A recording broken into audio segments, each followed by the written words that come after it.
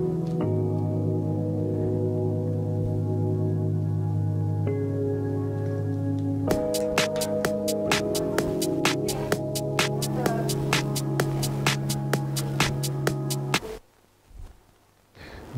Kanal 34 izleyicileri, bir dünden bugüne programında daha sizlerle beraberiz. Bugün çok çok özel bir konuğumuz var. Ülkemizde özellikle İçişleri Bakanlığı ve geçmiş dönemlerde yaptığı emniyet grubundaki hizmetleriyle efsaneleşen kıymetli büyüğümüz, benim de hemşerim, değerli Saadettin Tantan büyüğümüz. Bugünkü programda kendisi aslında birkaç program daha yapacaktı. Zaten ben dün akşam biraz incelediğim zaman son 3 ay içinde yaklaşık yüz, yüzün üzerinde programda konuk olmuş. Herhalde bu büyük bir rekor diye düşünüyorum. Buraya gelmeden önce iki gündür hazırlık yaparken tüm arkadaşlarım da bazı sorular sormak istediklerini söylediler. Bunları da not aldım. Ben kısaca herkesin bir e, İçişleri Bakanı ve sert bir polis müdürü olarak tanıdığı Saadettin abinin 20-22 sene önce İçişleri Bakanlığı zamanında ben de eğitim gönülleri genel müdürüydüm. O dönemde Çekil Vakfı ile sivil toplum kuruluşlarıyla, TGV katkılarıyla yaptıkları ayrı bir program konusu olur. Onlara tabi bugünkü konumuz nedeniyle pek fazla değinemeyeceğiz. Çünkü bugünkü konumuz biliyorsunuz Türkiye'nin güvenliği ve stratejik önlemler. Yeni yıla girerken Ocak ayı bizim için çok olumsuz ve üzüntülerle geçen bir ay olmuştur geçmişte. Birçok değerimizi teröre ve maalesef menfur suikastlara kurban vermişizdir. E, hepsini özellikle hem emniyet hem asker hem de ülkesi için hayatını feda eden, kanını canını akıtan bu kahramanlarımızı hürmet, rahmet ve saygı ile yad ediyorum. Özellikle de her ikimizin de hemşeri olduğu, benim de çocukluk arkadaşım Hendek'ten, Saadettin abimizin e, İçişleri Bakanlığı'nda şehit olan Diyarbakır Emniyet Müdürü Ali Gaffar Okkan ortaokul arkadaşımdı. Ve tüm Sakaryalılara bir kez daha başımız sağ olsun, sabır ve metanet diliyorum. Efendim, buraya girirken Saadettin Tantan büyüğümüzü tanıyan birçok arkadaşım vardı. Özellikle dediler ki muhakkak sorularımızı söyle ama isimlerimizi de zikret. Bunların hepsini aynen benim gibi değerli büyüğümüz tek tek tanırlar.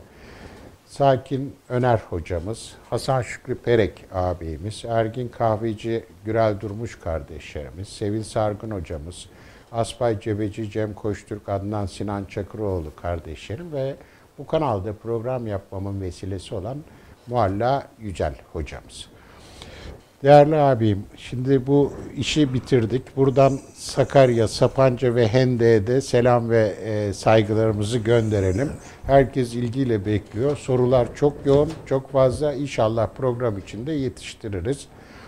E, ben sizi tabii sadece burada değil, e, günlük hayatta da e, takıldığım bir şey olduğu zaman açıyorum ve soruyorum. Siz de bıkmadan, usanmadan bize katkıda bulunuyorsunuz. Biz aynı zamanda Turan Bilim Derneği'nde de birlikteyiz. Bundan da büyük bir onur duyuyorum. Soru çok önemli. Ergin Kahveci yakından tanıdığınız diyor ki bu konuya girmeden önce Türkiye'nin hayati bir konumu var ve bu çok gündem olmuyor.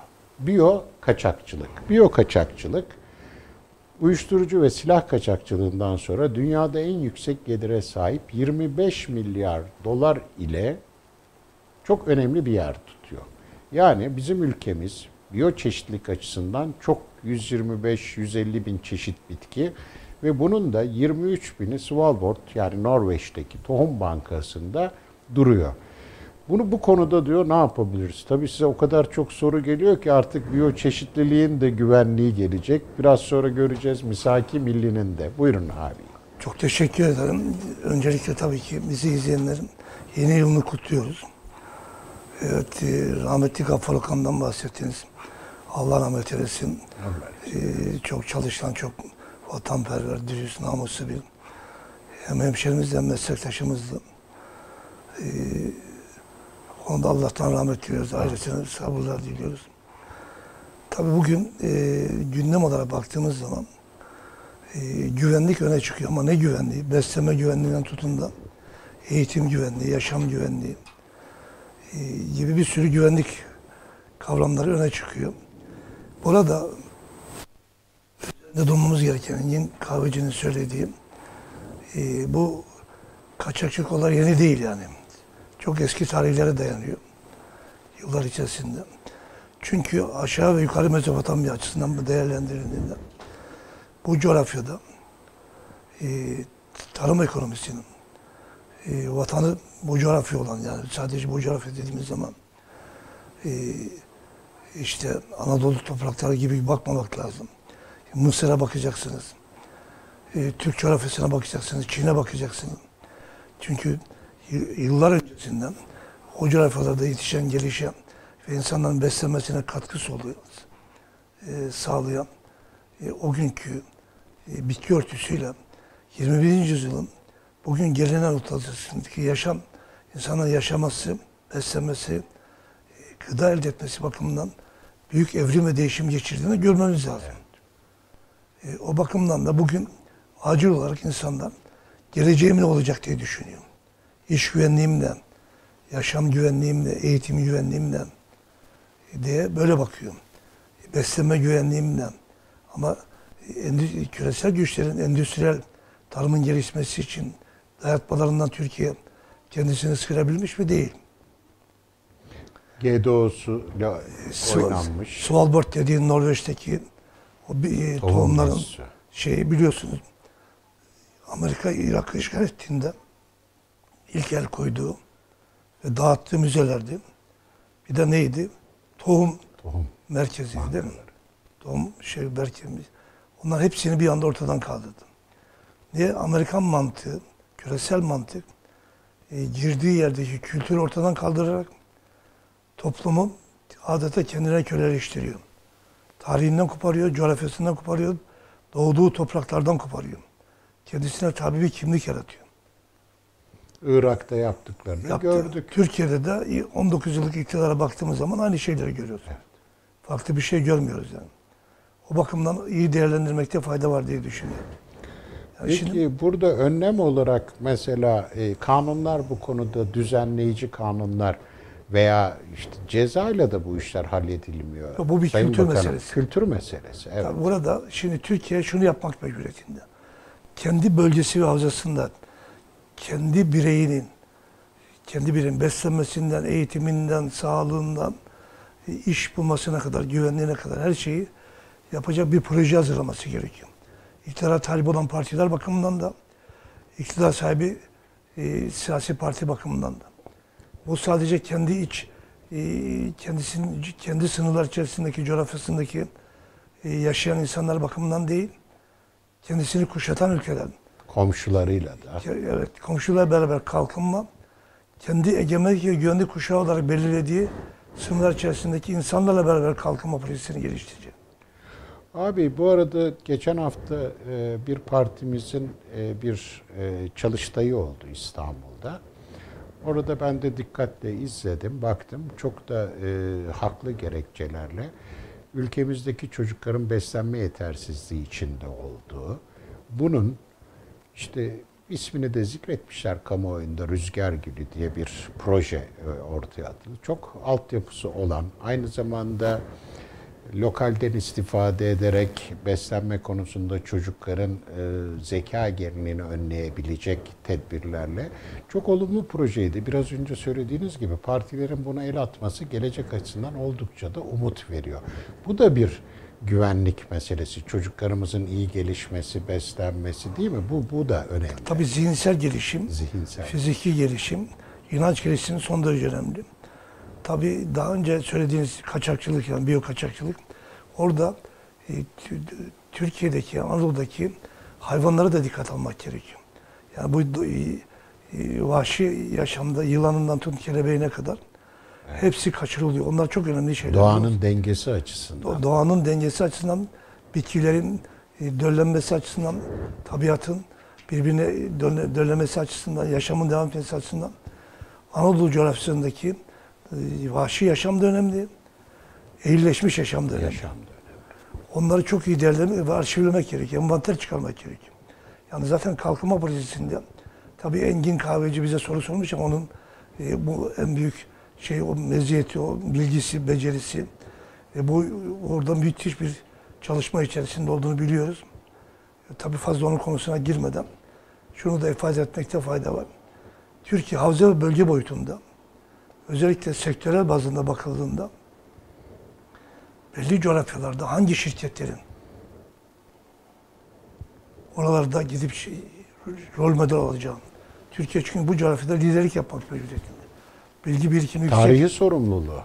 Lider, yok know-how yani bilgi birikimi yüksek. Tarım sektöründe de, sanayi sektöründe de, hizmet sektöründe de, turizmde de, kültürde de her alanda yetişmiş insan gücü var. var. Bizi çevreleyen, kuşatan ülkeler bakımından bu kadar know-how'ı, bu kadar bilgi birikimi, bu kadar şey olan ülke son derece az. Ve böylece e, özellikle aşağı Mezopotamya ve yukarı Mezopotamya olarak değerlendirildiğinde e, burada bu projeyi birlikte yapabilme kapasitesini geliştirmesi gerekiyor. Çok önemli. Şimdi son zamanlarda iktidar sahipleri bu coğrafyada yalnızlaştırıldığı, kendi kendine düşmanlaştırdığı e, ülkeleri bir, bir araya gelmek için bir çaba içerisinde işte Mısır'dan, İsrail'den tut da e, Suriye'den, Lübnan, e, işte Körfez ülkeleri, Suudi Arabistan, Katar, Irak, e, İran ve bunlarla bir arada hareket etmek istiyor. Hem siyaseten hem diplomasi açısından ama e, kalkınma açısından böyle bir projesi var mı onu bilmiyorum. Kamuoyuna yansımış değil. Ama ben derim ki acil bir şekilde iktidar da muhalefet de birbirlerini e, ağza alınmayacak şekilde linç, linç etmelerine hiç gerek yok. Hakaret etmelerine hiç gerek yok. Yapmada gereken tek şey e, bir araya gelerek ülkenin kalkınmasına katkı sağlayacak, özellikle çöküşünü ortadan kaldıracak projelerin hayata geçirmesi gerekiyor. Abi çok önemli bir şey söylediniz. Kadim dost ikimiz için de değerli kardeşim Profesör Hilmi Özden Bey. Diyor ki Sayın Bakanıma kıymetli büyüme diyor. Çok güzel bir soru onu da şimdi alıyorum. Türkiye'nin bugünkü ekonomik ve teknolojik gücüyle diyor misaki milliyi geç gerçekleştirmeye yeterli e, kuvveti var mıdır? Şimdi bunu sorunca benim aklıma şu geldi. Büyük Atatürk 1930'lu yıllarda Misaki Milli'yi de gençlerimiz belki tam bilmiyor. Misaki Milli Türkiye'nin haksız bir şekilde kaybettiği Türk nüfusunun yoğun olduğu bölgelerdeki gelecekteki Türkiye'nin gençlere hedef olarak gösterilen bir andımızdır. Ben Misaki Milli'yi böyle okuyorum. Son Osmanlı Meclisi'nin içinde şey Evet. yapalım. Bunun içinde neler vardır? Musul Kerkük vardır. Bunun içinde neresi vardır? Batı Trakya vardır. Bunun içinde neresi vardır? Kıbrıs ve Ege adaları vardır. Şimdi o kadar ileri görüşlü bir insan ki 1930'larda 2. Dünya Harbi'nin çıkacağını görüyor. Bir takım paktlara giriyor. İşte Batı'da, Doğu'da, Sento, NATO şey. Eğer misaki milli üzerine bugüne kadar gelen Atatürk'ten sonraki hükümetler devam ettirmiş olsaydı bugün başımıza işte Akdeniz'de mavi vatan, Kıbrıs sorunu, güneyimizde bugün yaşadıklarımız hala ne olduğunu çok bilemiyoruz. Bu olaylar gelir miydi? Bu sizin tam stratejik konunuz ve bugünün de konusu. Uzun uzun bunu sizden istirham ediyorum. Ya mesela son Osmanlı Meclisi biliyorsun e, i- işgal altında E, ve o meclisin aldığı kararların kararlar alınan hepsi Malta'ya sürgüne gönderildi biliyorsunuz. Evet. O çok önemli bir karardı ve o günkü Cumhuriyet hükümeti buna çok ısrarla üzerinde durdu. O günkü küresel güçlerin tehditlerine karşı Osmanlı ancak kurtuluş, Osmanlı dağıtılmış, parçalanmış, silah atmadan topraklar işgal ettirilmiş. Maalesef. O işgale giden sürece baktığımız zaman da farklı bir dur- durum var. Onu da aşmamız lazım aslında. Açabiliriz. Yani burada şuna bakmak gerekiyor. Eğer tarihten ders çıkarmış olsaydı ülke yönetenler bu duruma, bugünkü duruma düşmezlerdi. Fatih Sultan Mehmet döneminde bile e, enflasyon var biliyor musunuz? Evet, evet. O dönemde bile e, açlık ve yoksulluk ve fakirlik var. Neden var? Çünkü altın gümüş de düşmüş, akçe değer kaybetmiş. 15. yüzyılda özellikle Batı bir takım keşiflerle işte e, yeni dünyaya Yeni dünyanın yeni keşfi. dünya ve daha önce daha başka keşiflerle bir sürü o coğrafyalardan kazanımlar elde ediyor. O kazanımlar e, Avrupa'ya geldikçe zenginleşen bir Avrupa var. Avrupa parası Osmanlı'da geçerli kabul ediliyor. Akçe değer kaybettikçe kaybediyor. Ve hatta e, o kadar duruma düşüyor ki artık akçe Osmanlı'da kabul gören bir para olmuyor. Bugünkü durumda. Dolar ve TL'nin durumu Dolar gibi ve- mi veya euro dolar, dolar? euro ve TL'nin durumu aynı hiçbir şey değişmemiş. Tabii gele gele baktığımız zaman 1870'li yıllarda falan aslında açlıktan kırılan insanlar var. Fakirleşen, yoksullar insanlar var. Hatta karneye bağlanan e, temel gıda maddeleri var. Var, Bu- evet. Bunlar bizim şeyimizde var. Tarihimizde var. Ta- Geçmiş. 1839 e, Baltaraman Anlaşması bir teslimiyet anlaşması aslında. İşte o Mora'nın akabinde İşte 1830 Kıbrıs'ın teslim evet, edilmesi teslim falan. Hepsi bunlar. O günkü küresel güçler Türkiye'yi bir şekilde kendi hakimiyeti altına almışlar. Yani bu abi Alırken- daha ama- çok uzun bir planın başlangıcından geliyoruz Geliyor şimdi. tabii. Evet yani burada ki bütün sorun e, israf, tasarrufun olmaması e, ve Bilimsel gelişmeye kapalı olmak, kapanılması, borçlanması sürekli, borçlanarak, borçlanmak. borçlanarak sürekli batıya mahkum olunması ve bir proje. Birinci Dünya Savaşı öncesinde Büyük İngiliz oyunu hala devam ediyor. E, vazgeçilmiş değil. Bu oyuna sonradan katılan Amerika şimdi e, yeniden rol almış vaziyette. Sonradan katılan e, İsrail bu bölgenin hakim gücü olarak takdim edildi. Mavi Marmara olayından sonra. Türkiye kaybetmeye devam ediyor. Şimdi ben buradan bir takım bilgileri vereyim bu arada. Müsaade ederseniz. Ne demek? Zevkle Şimdi dinliyorum. 19 yıllık iktidarında yani bakıyorum ben 1991 ve 221 dönemine baktığımız zaman Türkiye sürekli kaybeden ülke konumunda. Yani GAP ve Doğu Anadolu projesine de her yıl ortalama 30 milyar e, dolar yatırmamız gerekiyor. Yatıramamışız. 900 milyar dolarlık bir yatırımla bu bölge kendi tarımını, ekonomisini, hayvancılığına şeyine kadar kalkındıracak bir ülke konumuna gelebilirdi. Başlangıçta hatırlıyorum ben GAP 2,5 milyar dolardı. Ee, Bir buçuk, iki buçuk, bir buçukla başladı. İkinci kademeli iki buçuk milyar dolara çıktı. İşte o barajlar ve diğerleri hala devam eden bir proje. Fakat o projenin nihai sonuçlarını hala bir takım tüneller, bağlantılar, oradaki toprağın verimli işlenmesi haklısınız. Ulaşamadık abi. Şimdi burada e, işte bu şey yapılamadığı için üretim kaybı aşağı yukarı 900 milyar dolar arası.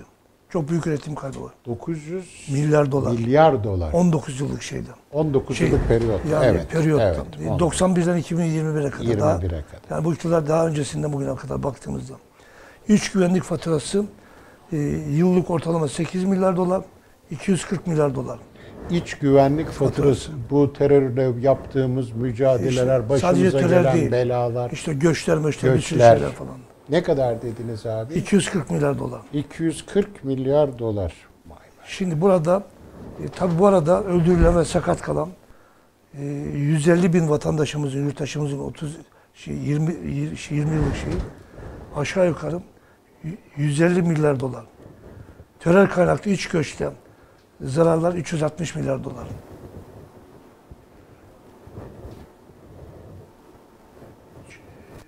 Yani jeopolitik saldırı, yani dışarıdan saldırıyla ilgili yılda e, aşağı yukarı 30, 30 yılda iki- 2850 milyar dolar bir zarar uğramış vaziyetteyiz. Yani 2,5 2.8 trilyon dolardan bahsediyoruz şu. Evet. Ve bu halkımız 2.8 trilyon dolar harcamış ve hala ne büyük ülkeyiz abi. Ne kadar kötü bugünkü sonuca gelmişiz ama neler kaybetmişiz. Ama buradaki esas yanlışlık ne biliyor musunuz? Uluslararası e, uygarlığın yani 21. yüzyılın tanıdığı e, tanımlanmış meslek sayısı ne kadar biliyor musunuz? 42 bin adet. Türkiye'nin e, ta- e, İşkur tarafından tanımladığı meslek e, şeyi 500 Sayısı? meslek 500 meslek. Yani 500 desek, 1000 desek yani 80 katı azız. Yani İşte biz nasıl modern şeyde, nasıl gelişeceksiniz? Nasıl modern dünyada söz Yer alacağız. Nasıl 20. e, kalkınmış ülkeler G20'ye gireceğiz? ne kadar ne kadar önemli. Lafta girilmiyor yani şeye. Şimdi böyle bir sürü şeyler var. Tabii burada e, üretim ekonomisi mi, tüketim ekonomisi? Önemli olan üretim ekonomisi. Esas, aslında. Bunu siyasetçiler hep söylüyorlar. Yani yıllar öncesine geri döndüğümüzde işte Osmanlı döneminde de açlık, kıtlık, yoksulluktan dolayı hatta bu buğday ihraç eden Türkiye, buğday ithal eder konuma gelmiş o dönemlerde ama e, Cumhuriyet kurulduktan sonra özellikle Menderes döneminde daha 1946'dan itibaren zenginleşen milletvekilleri var. İnşaat sektörüne giren milletvekilleri var İnşaat sektörüne. girmiş. İnşaatla ilgisi falan olmayan Ne şeyler. kadar bu Türkiye'de bu inşaata beton merakı nereden gelir abi böyle sürekli beton merakı? Beton merakı sü- sürekli para kazanmak için. Para kazan. İşte bütün dava çok acil bir şey. Betonun ömrü 50 ile 70 sene arası. Zaten o 30 yılda yıkılıyor şimdi şeyler. Evet. Yani aynı bina 30 yıl önce yapmış olan müteahhitler bak sokakta yine yıkıp yeniden yapıyorlar. Yeniden yok. Yeni deprem şartlarına uygun olarak yapıyorlar. Evet. Şimdi yıllar öncesinde 1950'li yıllarda e, Maliye Bakanı Hasan Polat'la e, Cihat Baban da eski siyasetçilerden Evet. karşılaşıyorlar. Dertleşiyorlar yani karşılıklı. Hasan Polat'tan diyor ki ben diyor anlatamıyorum Adnan Menderes'e diyor. Hazine bomboş diyor. Değerlerimiz şey altın, müzezze falan hiçbir şeyimiz yok. Büyük bir enflasyonla karşı karşıya kalabiliriz. Ama başbakana bunu anlatmak mümkün değil diyor. Aynı bugünkü gibi. Enteresan. Bak aynı bugünkü gibi. 2050, e, 1954 seçimlerinde yine şeyle oy kazanıyor. Yani bu kadar ekonomik krizdeyken de şey kazanabiliyor. Demokrat Seçim Parti. kazanabiliyor. Evet. Bugün de Türkiye ekonomik krizi baştan beri yaşıyor. Ama Tayyip Erdoğan yine seçim kazanıyor. Evet. Bunu farklı değerlendirmek gerekiyor. Ya bugün muhalefet partileri Yani bizim millet betonu seviyor mu diyelim abi? Nasıl betonu değil şey? bizim millet, e, bizim halkımız maalesef zihinsel anlamda çökertilmiş vaziyette. Yani zihinlerinin gelişmesini siyasetçiler engelliyor. Bu da stratejik bir sorun, güvenlik sorunu. Yani eğitimli, bilgi sahibi, bilgiye ulaşan, gerçek haber alan, ülkesinin sıkıntılarıyla yakından ilgili. Ama burada da önemli bir şey var. Kişinin üç tane özgürlüğü var değerli abim. Bunu siz de tanımlamıştınız geçen gün. Bunlardan bir tanesi düşünce özgürlüğü, biri inanç, biri girişim özgürlüğü. Bunu kapalı tutarsanız insanların gelişimine, değerlendirmeye, ölçme değerlendirme yapabilecek neden, sebep sonuç ilişkilerini de ortadan kaldırırsınız. Bugün sanki böyle bir şey mi yaşıyoruz acaba? Şimdi e, bu büyük projede e, rol alan e, siyasi kadrolar belli.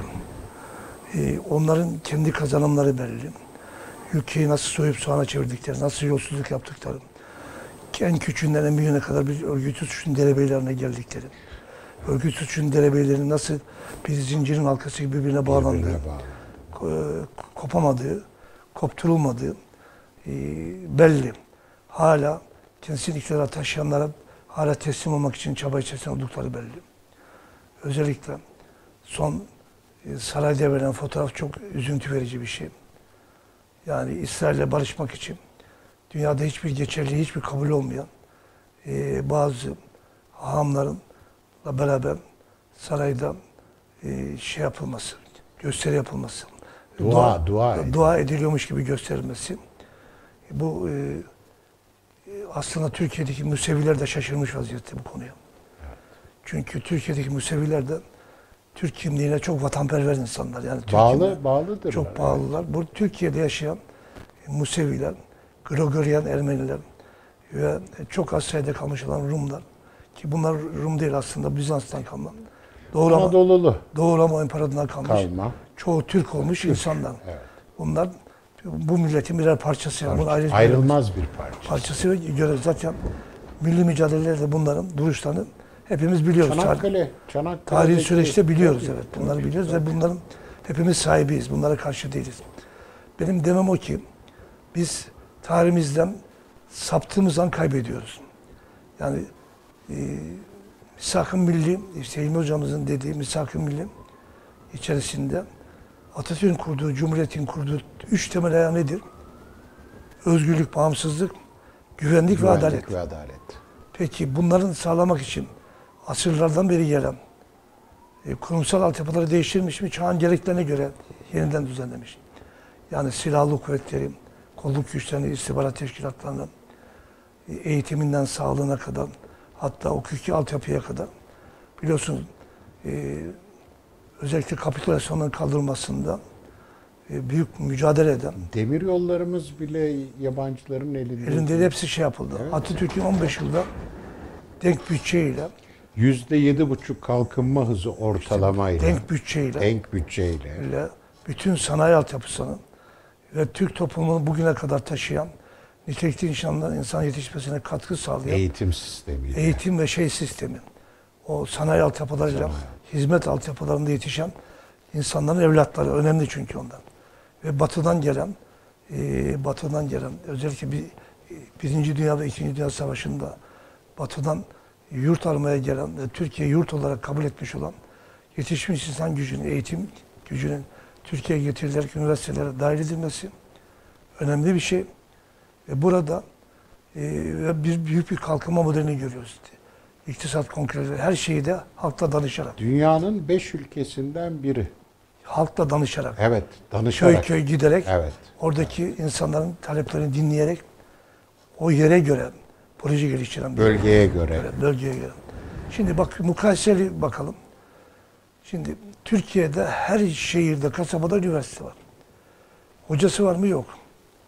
Kalite, Kalite sıfır. Yazık günah değil mi bu çocuklara? Onlar orada ediyor. işsiz ordusu. Hiçbir altyapısı yok. Bilgi altyapısı yok. Eylem altyapısı yok yani. Sanat altyapısı yok şimdi. Bir Üretim meslek sahibi olabilecek donanımda değil. değil. Şimdi Almanya'na mukayese et. Aynı nüfusa sahibiz. Almanya'da bu kadar üniversite yok. Almanya'da üniversiteler Ama- böyle. Teknik ara okullar var. Hayat boyu meslek edindirebilecek Okullar. kurslar var. Sistem var. Her birey kendi kendi ekonomisini geliştirecek bir altyapısı var. Altyapısı var. Ve bu altyapıda ihtiyaca göre yetiştiriyor. Evet. Yani marangoz, Planlı bir şekilde. planlı bir şekilde ihtiyaca göre. Ma- 100 tane marangoz varsa 100 tane. 100 tane. 101 tane koymuyor. Bizde yığınla çocuklar üniversiteyi bitirdim diye simit satamıyor, limon satamıyor. Ailesine bir şey diyeyim, ailesi çocuğum üniversiteyi bitirdi iş bulamıyor diye. E, Zaten işe girsek şey yok. Ne yapacak? Tatminsiz. Tatminsiz. E peki iktidar da kendi kendi partisine kaydolmayanı işe sokmuyor.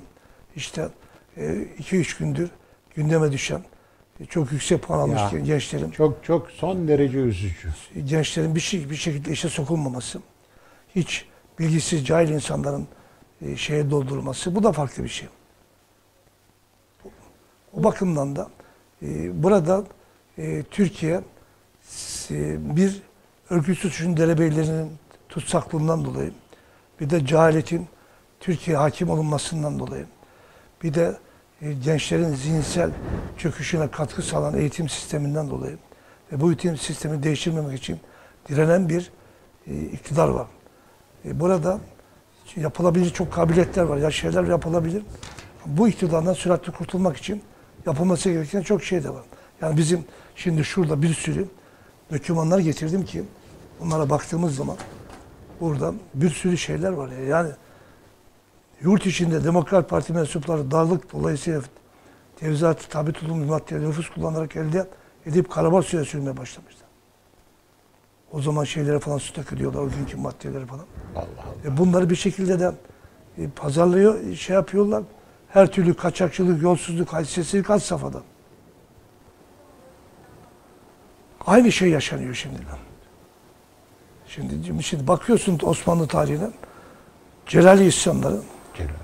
E, batıdaki işte özellikle misyoner kullanan Anadolu'da şey olmasın.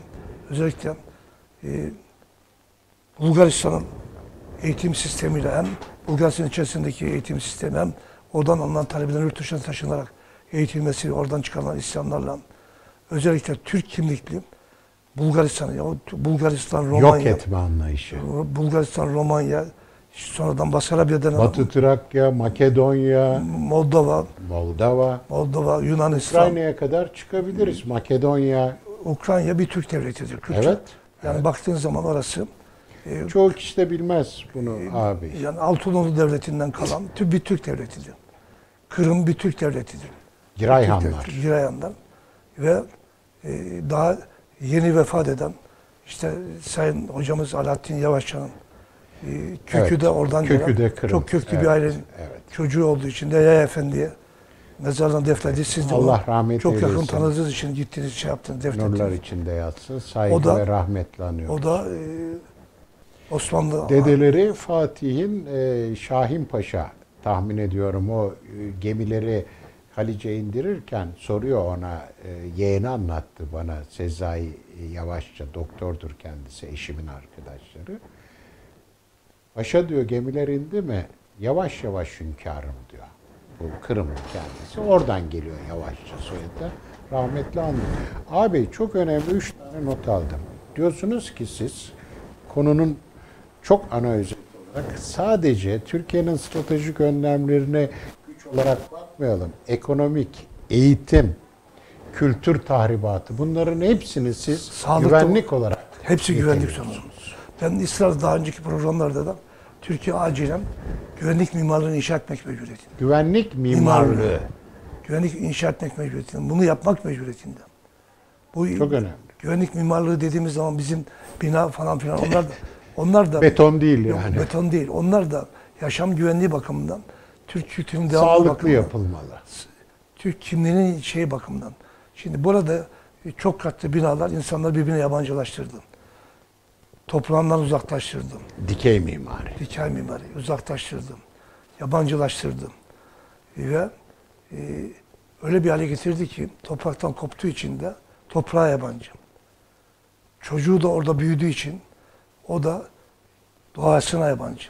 İmeceden kopuyor bir anlamda komşu. Birbirine yardımdan kopuyor. Yardımdan İmece üstünden zaten her şeyden kopuyor. Kopuyor. Böyle olunca da sıkıntı yaşıyor. Mesela e, yıllar içerisinde açlıktan, yoksulluktan, fakirlikten kaynaklanan e, fakir yerlerden batıya göçler geliyor. Bu göçlerle beraber neler geliyor? İşte kahveler doluyor. Orada hırsızlık, yolsuzluk, kaçakçılık, her türlü ahlaki değerlerin çöküşü orada başlıyor.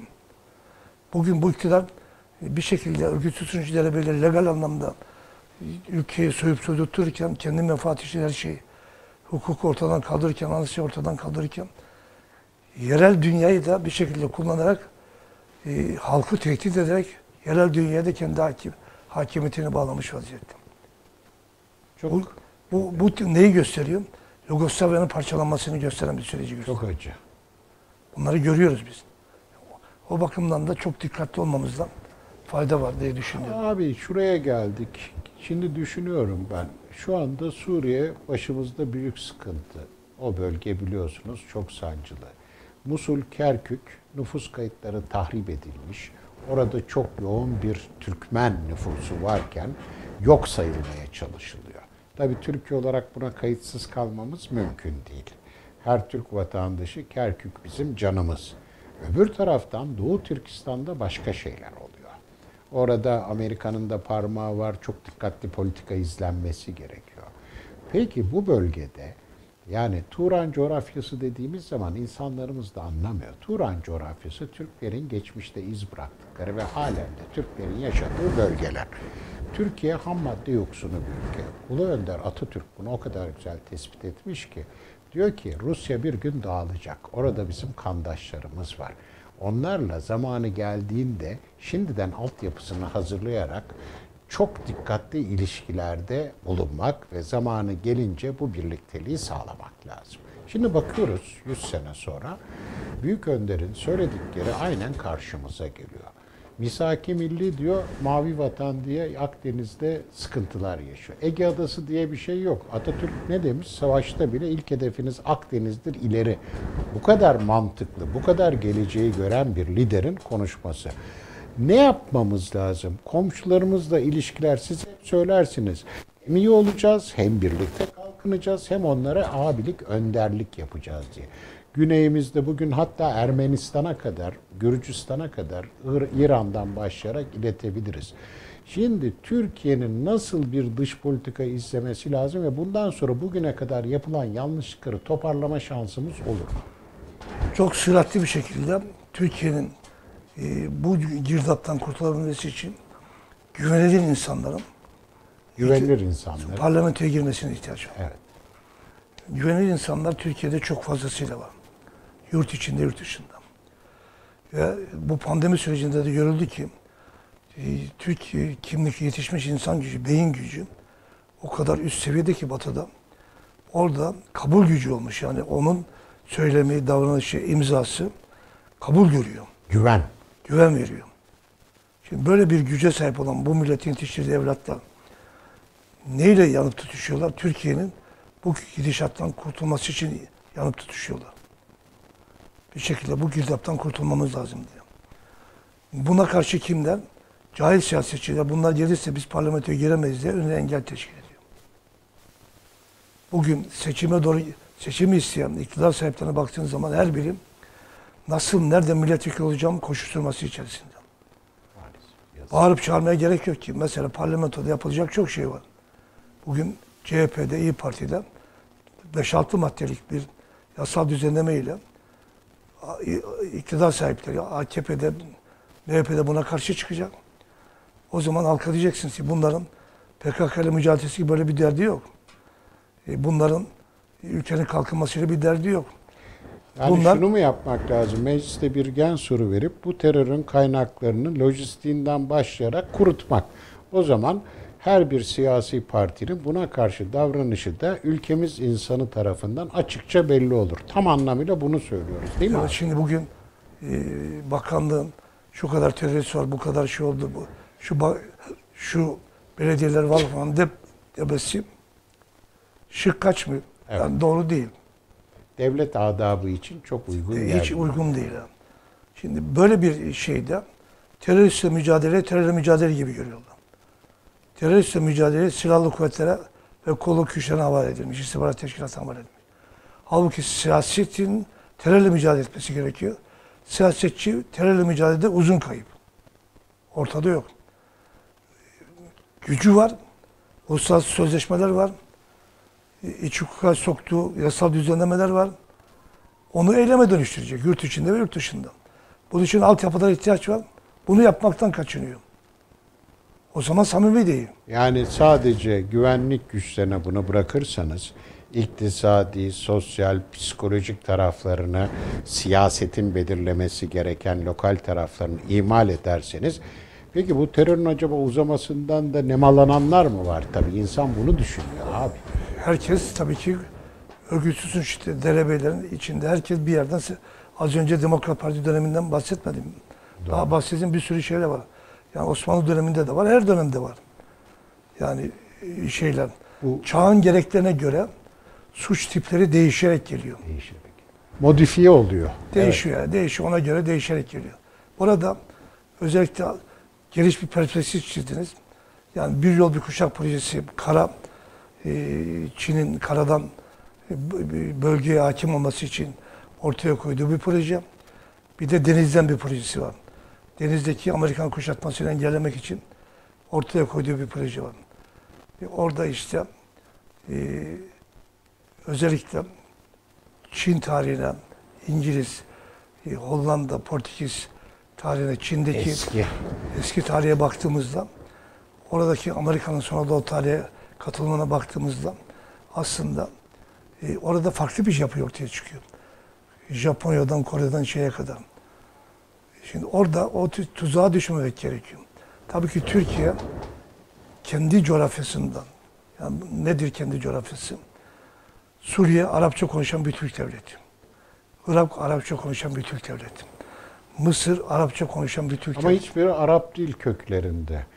Mısır, Suriye- Mısır Kıpçak devleti. Tabii tabii. Kölemenlerden kalma eski Şimdi- Memlük Amanos Dağları'ndan Golan Tepelerine kadar Türk, Türk devleti. var. Evet. Bayrıcılar Türkleri var, diğer e, Türkler var. Suriye'de Köpekoğulları çok eskiden kalma. Şey, özellikle e, şeyden kalma, bir Selçuklu Selçuklu'dan. devletinden kalma. Orada şey Türkler var, yaşayan Türkler var. Daha sonra E, Cumhuriyet Selahattin Eyyubi yeğenleri daha sonra zaten. daha sonra Cumhuriyet döneminde giden Türkler de var. Türkler de var. Evet. Şimdi burada Türkiye'nin bunları kalkındırması için kalkındırması gerekiyor.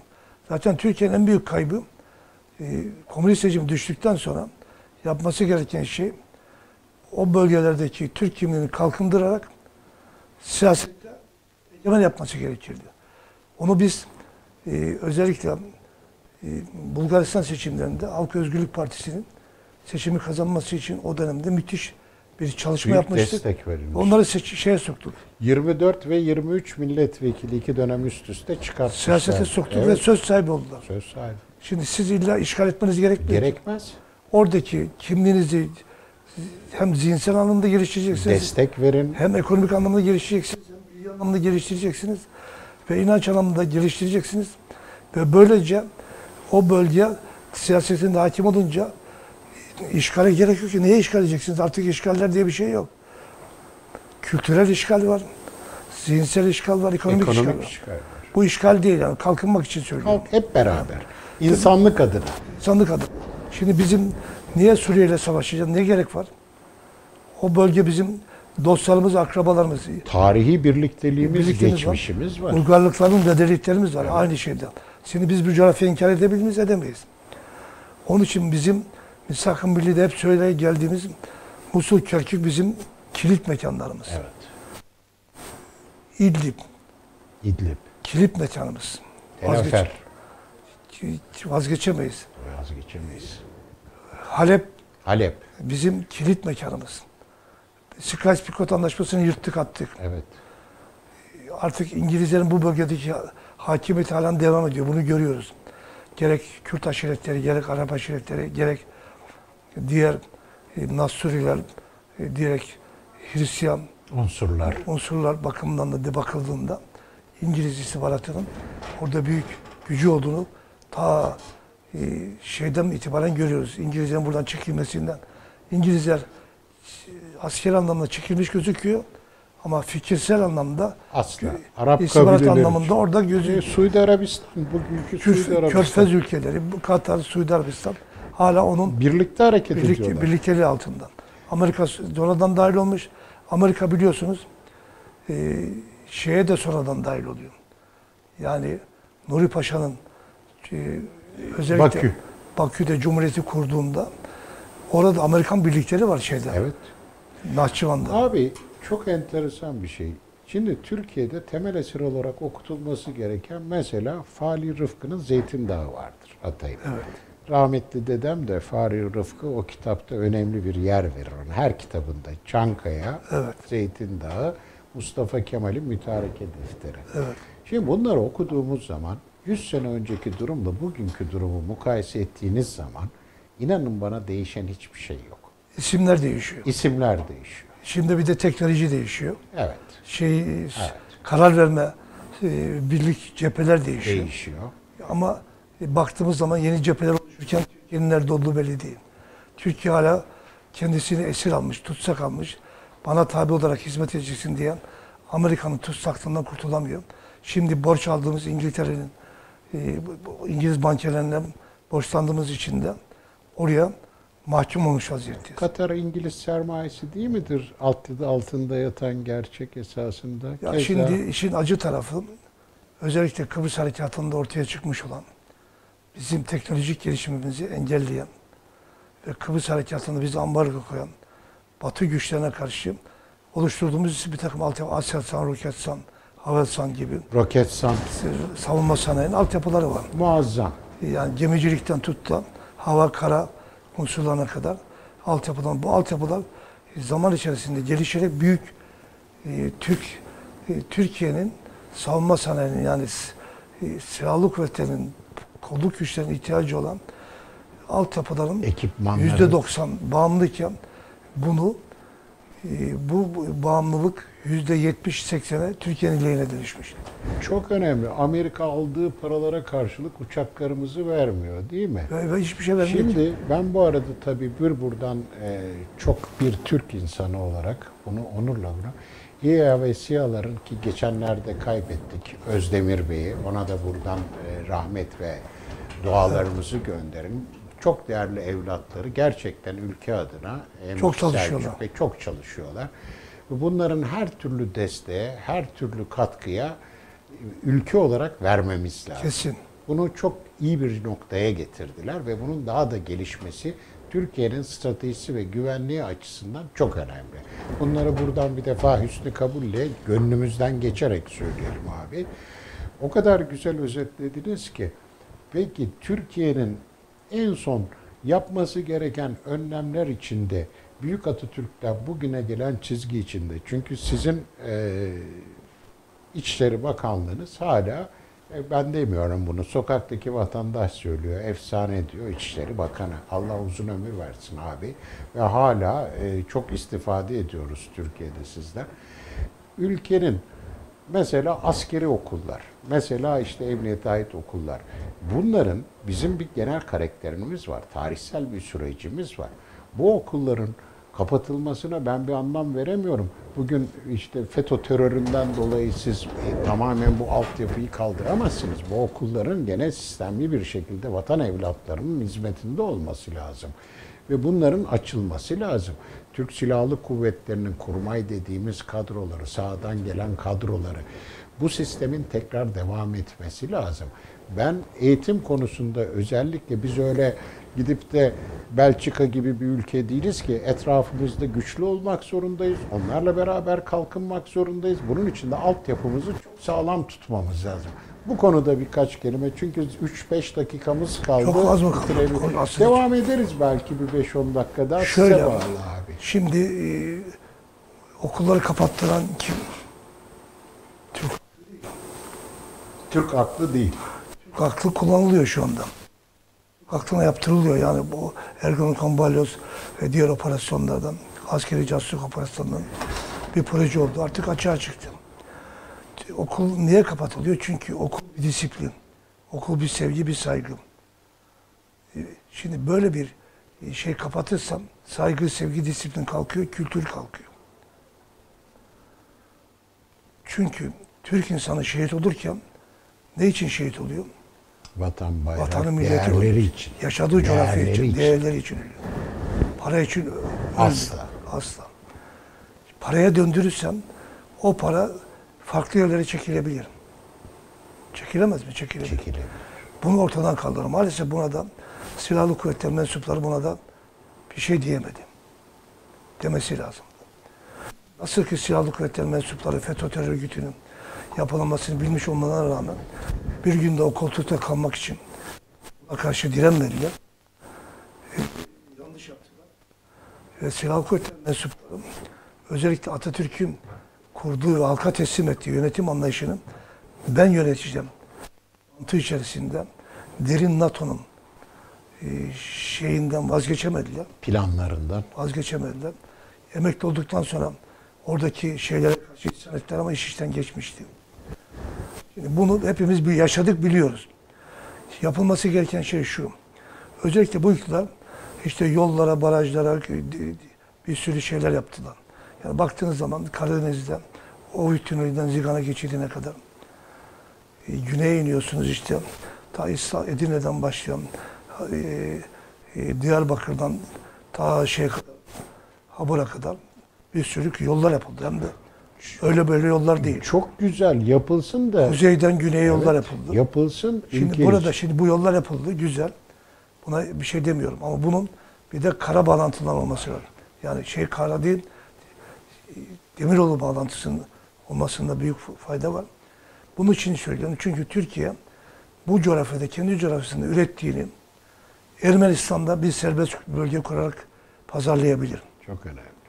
Ama bunu yaparken Zengezur geçidinin Açılması lazım. açılmasını ve Zengezur geçidin açılırken Azerbaycan e, kolluk güçlerinin denetiminde olmasını, yani Evet. Rusya'nın denetiminde değil, Azerbaycan denetiminde olmasını sağlar. Rusya bir yere kadar müsaade etti. Burada durun dedi.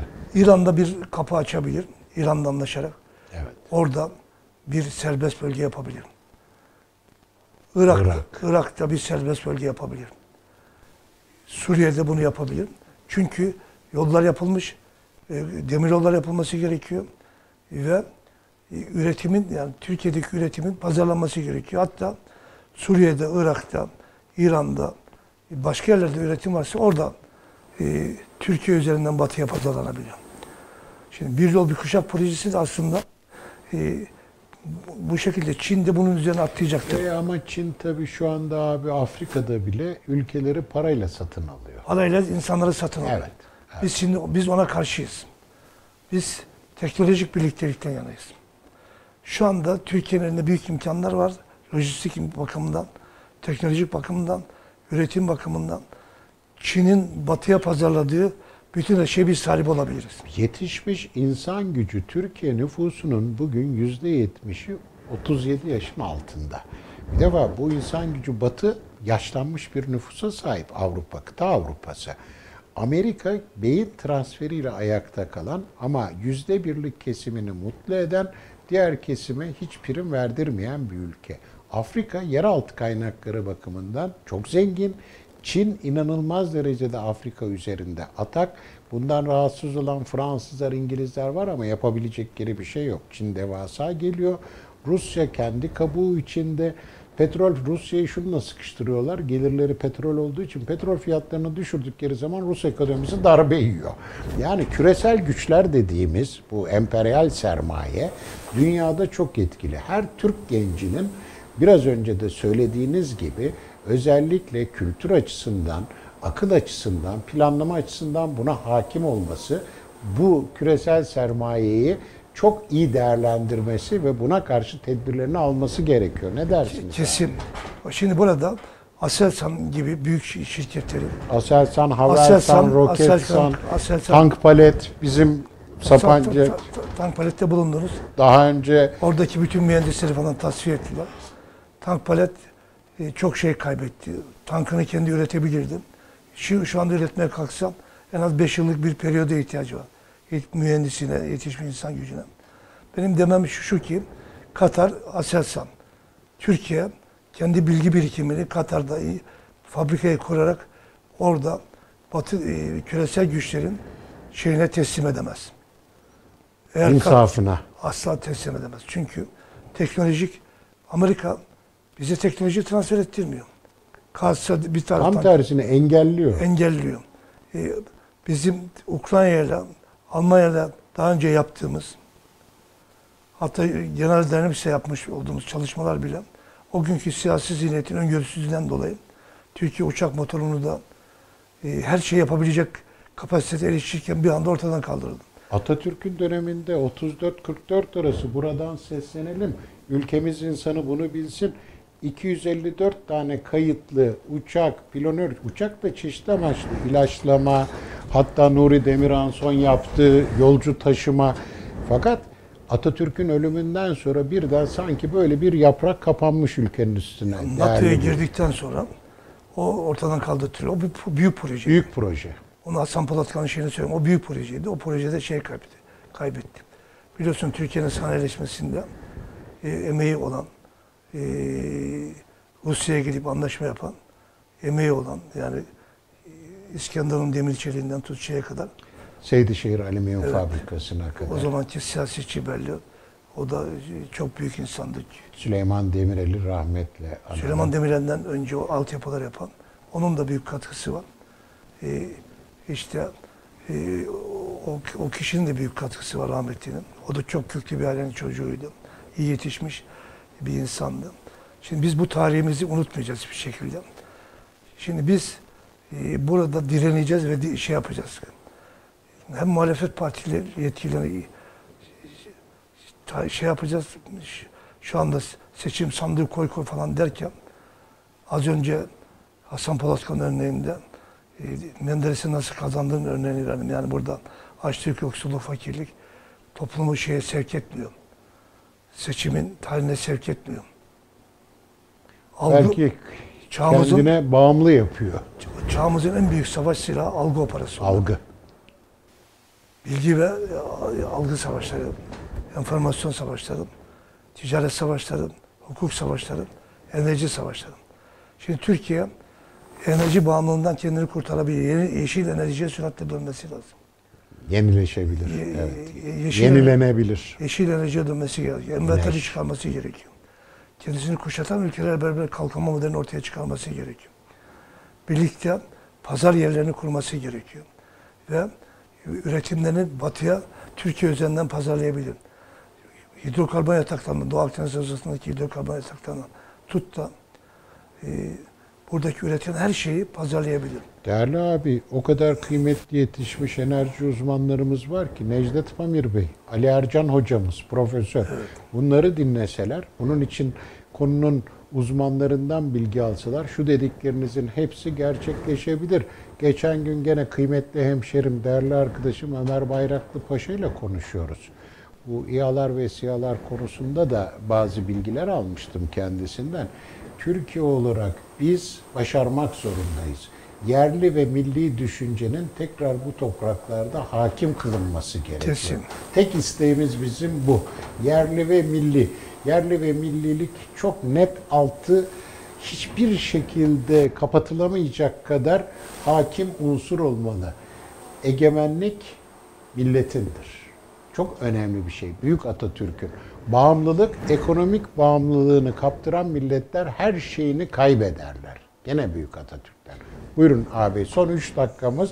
Bir program daha yapacağız ileride ama. Öyle mi? Tamam. Bu yetmiyor. Yani Yetmez. o kadar çok not var ki burada Notlar onun çok. için Biz şimdi e, cesur olacağız, ülkemize sahip çıkacağız. Hiçbir şeyden çekinmemize gerek yok. İktidar sahiplerine de kazandıklarını ülkeye geri getirmesi için baskı yapacağız. Kazananları ka- hiçbir lider, otoriter lider, Batı'nın kullandığı, Batı servislerinin kullandığı, hiçbir totaliter rejimin lideri, paralarını çocuklarına kendileri kullanamadı.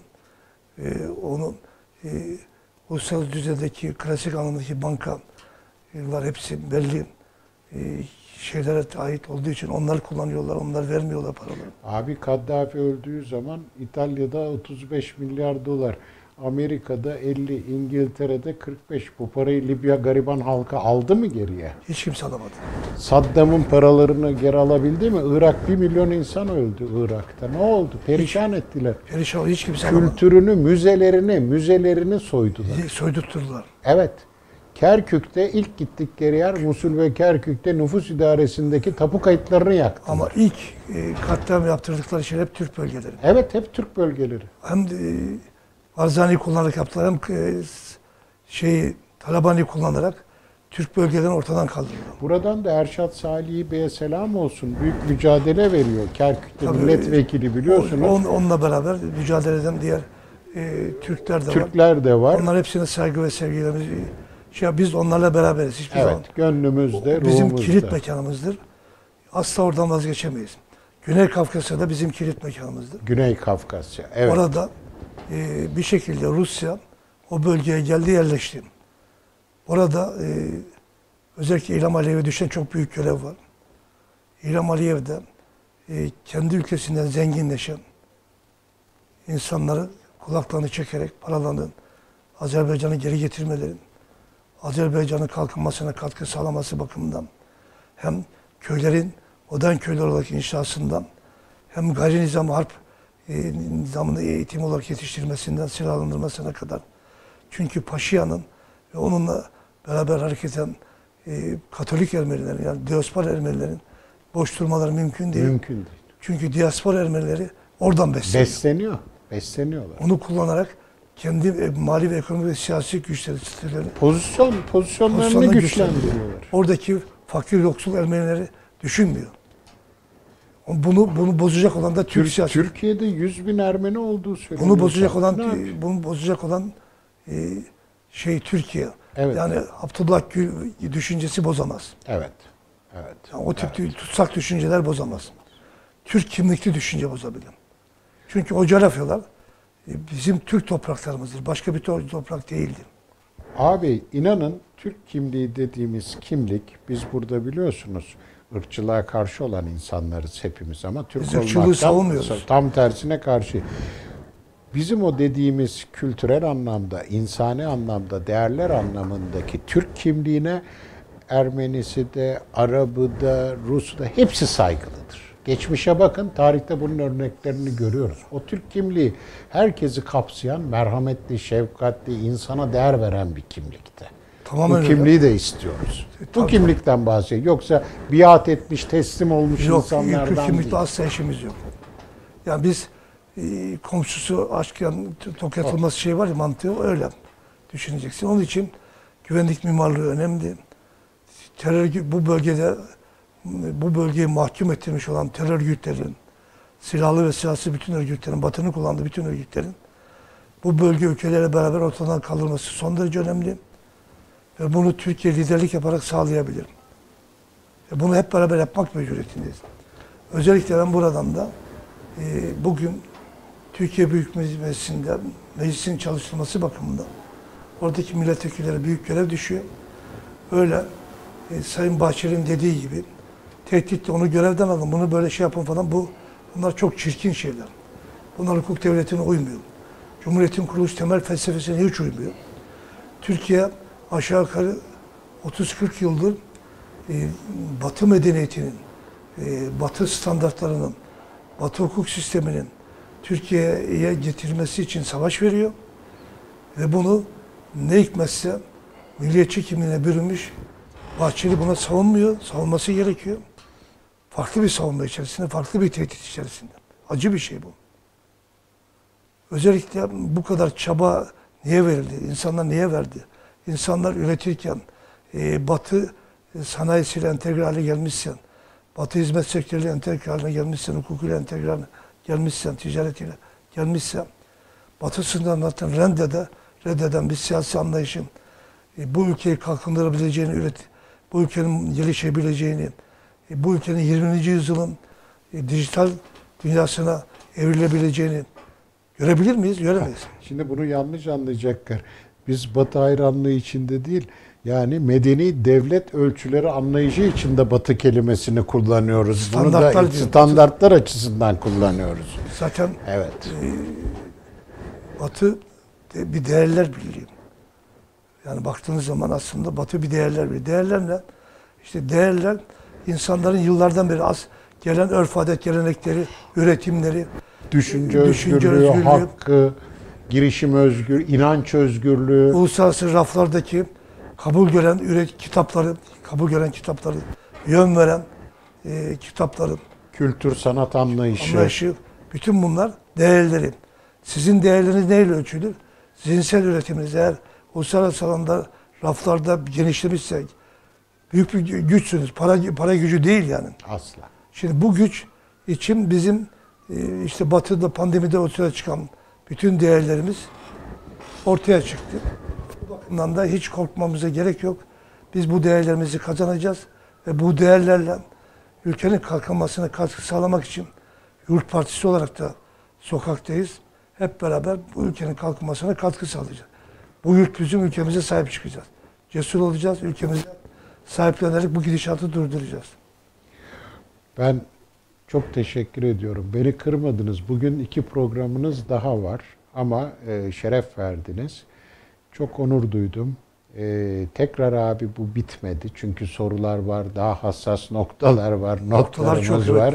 Bizim anlatmamız gereken çok şey var. evet. E, Buradan e, tabii hem izleyicilerimize e, hem de e, tahmin ediyorum bizim bölgemizden e, çok not geldi, notlar da geldi. Efendim Sakarya'ya, Sapanca'ya hem de Türkiye'ye bizi izleyenlere çok kıymetli bir büyüğümüz konuktu. Bir birikim manzumesi, bir hafıza, ülke hafızası Sayın Sa- Saadettin Kantan ağabeyime hem selamlarımı hem hürmetlerimi hem de teşekkürlerimi şükranlarımla iletiyorum. Allah sağlıklı günler versin. Pandemi gene arttı diyorlar abi. Onda da tekrar omikron yayılıyor. hepimizi Allah korusun. hepimizi korusun. Korusun. Tedbirimizi alalım. Efendim saygılar sunuyorum. Bir başka programda dünden bugüne de buluşmak üzere sağlıklı günler diliyorum. İyilikle kalınız. Kanal 34'ün e, yönetim kurulu başkanı ve çalışanlarına da e, ve onlar aracılığıyla bütün vatandaşlarımızın yeni yıla daha özgür, daha sağlıklı, daha güvenli bir şekilde girmesini sağlık vermemiz gerekiyor. Ben de amin diyorum değerli Sağ olun, teşekkür ederiz. Hürmetler.